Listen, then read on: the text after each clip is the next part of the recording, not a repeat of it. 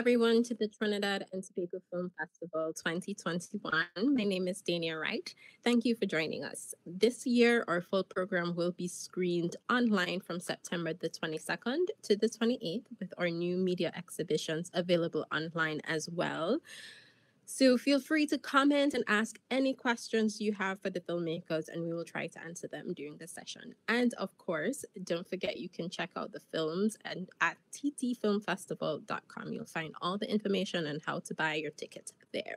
We would also like to thank our TTFF sponsors and partners NGC is our signature sponsor this year, and we have leading sponsorship from Shell Trinidad and Tobago and Republic Bank Limited, as well as contributing and supporting sponsorship from NLCB and Sports and Culture Fund, respectively. So, all right, so today we have a bevy of filmmakers with us. Today we have um, Vashni Korin with You Can't Stop Spirit. You have um, an open horizon by Baez. Um, I think that's your last name. Um, Wendy Nanan with and um with Andil Gosine and Port of Spain as Writers Heaven by Janine Mendes Franco and Dion Boucaud. Welcome, filmmakers.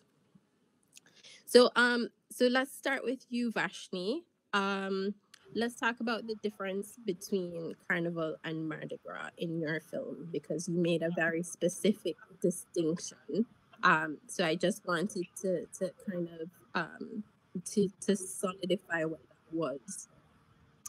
Yeah, most definitely. So carnival started back during Jim Crow, the Jim Crow era, where Black people weren't able to participate in Mardi Gras and the regular parade. So what they did was they kind of broke away from Mardi Gras and created their own things in the neighborhoods of New Orleans, and um, through that spurred um, these beautiful traditions, such as the Bones and Skeletons game, the Baby Dolls, of course, and the Black Mardi Gras Indians. Do, do you know much about Trinidad's carnival? Because those um those those characters are are sort of similar to us. Um, and like I, I went to New Orleans and I was very fascinated about how similar some of the, the elements of Mardi Gras and Trinidad Carnival. So I'm interested to know how much you knew about that before doing the show. Yes, so interesting. Um, first of all, I'm dying to come to Trinidad and um, experience Carnival there and just study the similarities and the differences. But I, I did know that baby dolls existed in Trinidad prior to doing the film, just, you know, conducting my research. Um, I studied under Dr. Kim Vaz-Deville, um, who is the professor at Xavier University. And she, you know, kind of took me under her wing and I got introduced to the baby dolls and learned that they were in Trinidad too. So I'm I'm curious if there was any, you know, when during the the emergence of the baby dolls, was there any communication between New Orleans and Trinidad? Like, how did that come about? So, well, I, I think they both have um, a common uh, colonizer, so to speak, um, being the French. And I think Carnival originally comes from that background. So I think that might be the unifying factor. Definitely. I'm sure there's even more details to to dive into. So so your film sp- focuses on um, women specifically and how they relate spiritually to um, to a, a character in Carnival. Why is that important? When you say character, you mean the baby doll. The baby dolls. How? Mm-hmm. Why is it important that they relate to yeah. baby dolls? Yeah. Well, that, yeah, that's an interesting question. Um, I guess you know, back when the baby dolls first started, um, people were being called, um, I think the word baby came into popular lexicon, you know, when you call somebody a loved one baby or what have you. And so, yeah, it's, it's actually interesting. They just kind of came out and um, dressed in short dresses and skirts and wore garters and carried switch knives. So they were kind of bucking the system in a way. They not only weren't supposed to participate in Mardi Gras, but they came dressing in a way that kind of um, challenged the social norm at the time. You know, we were in a time where women had to wear long dresses and, you know, you had to be proper. So they kind of used um, carnival as a way to to experience freedom on their own terms. Okay, Souki Mid- Mehdaoui. I'm trying to struggling with your name a little bit. Um, in Firelei, you also kind of um, explore. She also explores character through um, folklore when she takes on the Anigua, Anigua, which is something that we we have similarly in Trinidad under another name. It's you know for us it's called the Laja Bless, and there's a little bit of Douen in there for us too. Um, so I I just wanted to talk to you about the importance of um, flipping the narrative of folklore on its head to create new meaning for women and and us occupying space. Absolutely. Well, I, I actually grew up, it's, it's called the Ciguapa, and a lot of Firelei's work when I first met, when I first connected with her, we connected over this um, shared, I would say, inherited narrative of both coming from occupied spaces. I grew up in Morocco, occupied by the French, and like also it's been sort of like a recent, um, a recent space of freedom, and yet not so much. And you feel it in the culture and the this desire to shed light on the way that mythology can help us move through our own psychological limitations and the psychological cagings that we often don't even know how to identify because they're so deeply ingrained. And so for her, she saw symbols like the Ciguapa.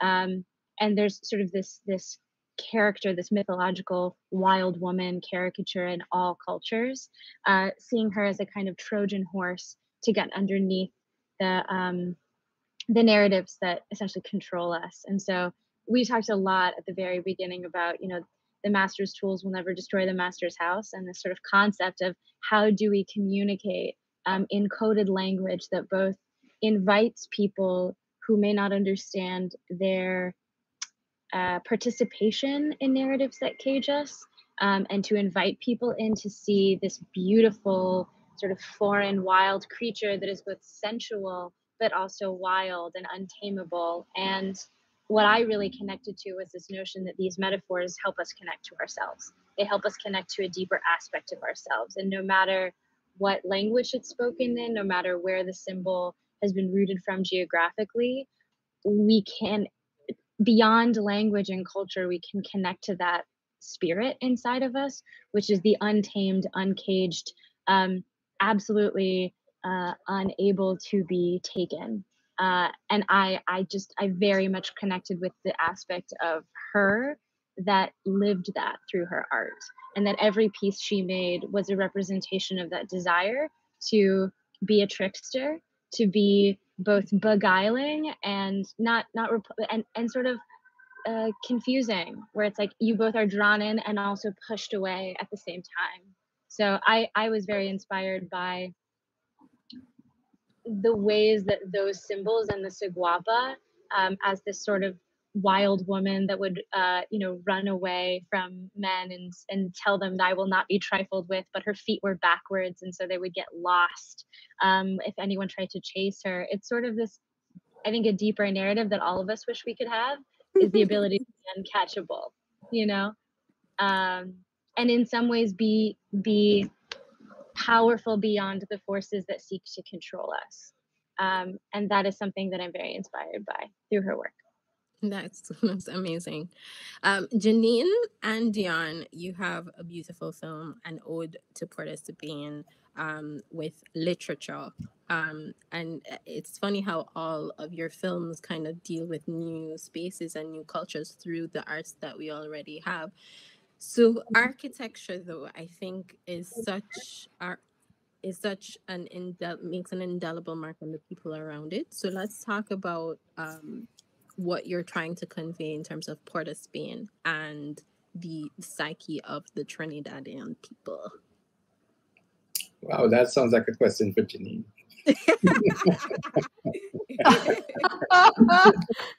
nice reflection there, Dion. Um, well, the architecture that we sort of featured in the in the film was really dictated by the books. Um, you know, we started off at you know, what is a really a national landmark, I think, which is the National Library, um, designed by the late Colin Laird. And from that sort of ground zero, if you wish, we span out uh, across the city and we visit places like the Red House and Woodford Square and the Lighthouse, and then we make our way um, back to East Port of Spain, where there was no piece of particular architecture per se. Um, then we meandered through Belmont, which focused on the bar that was the, the main setting in Barbara Jenkins's book, The Writer's Place. Um, from there, we went to the Botanic Gardens, which again was not architecture, but you know, carried us across the Queen's Park Savannah, where we had the Magnificent Seven, which was a wonderful piece of the film, probably my favorite part of it. And then we ended up, actually, we went to Naipaul House first, and then um, sort of took in the whole city from from the view of Chancellor. Um, so I guess what the architecture served to do was show that the city is very diverse in a very small span of square footage. You know, you can get very different vistas from one point to the next and very different interpretations, literary interpretations of the city. Um, you know, from from Walcott's work, which of course talked about colonialism and sort of escaping that grasp and growing into our own identity. Lovelace's work was the same thing. Um, as well as more, we also featured sort of newer voices that would talk to a new sense of identity, you know? So I think they was, kind was of that a difficult played into each other. thing to do in terms of mixing a blend of old voices and new voices to re- represent the same space? No, I don't think it was. I think no, I was about to say go ahead, this- Dion. Yeah, go ahead. Talk. No, so talk, what is please this thing? I, I, I don't think it was a, um, a difficult um, thing to blend. I mean, all of the words reference Port of Spain at, at some um, point in time, um, different periods of time. So it was just a matter of being able to showcase what inspired the particular writers um, at, at each point in time and how to bring that out visually um, when you're translating it from the text to, to, to the visual medium. Um, so I think that that aspect of it is what Janine and I um, discussed the most in terms of how do we show it? How do we present this um, to an audience that they will appreciate that this is coming from from a book, right? And and and keep it interesting visually and, and moving forward. And I think you guys were definitely definitely successful.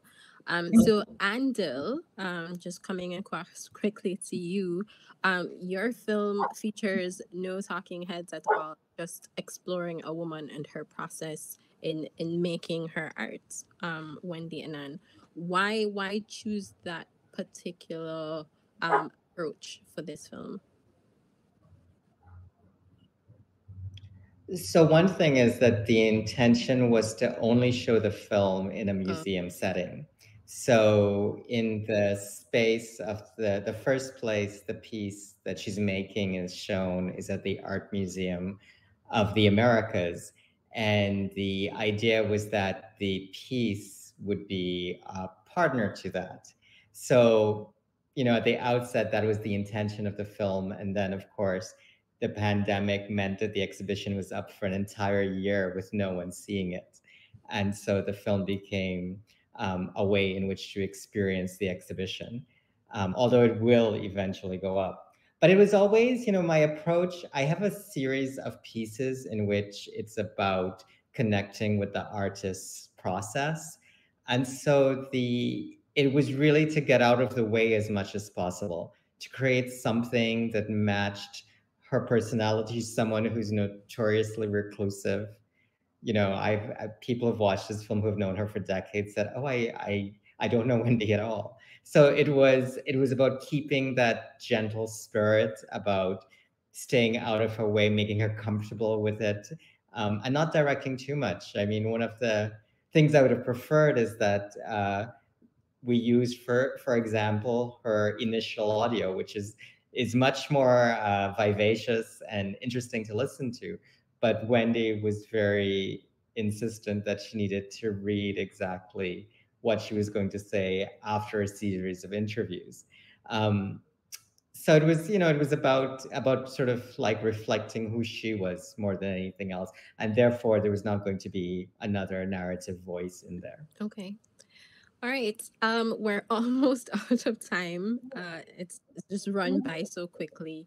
Um, I want to thank all of the filmmakers for coming and joining us today and giving us a new perspective on their film. Thank you, our audience, for joining the Q&A. Don't forget, you can still catch all these great films if you haven't yet.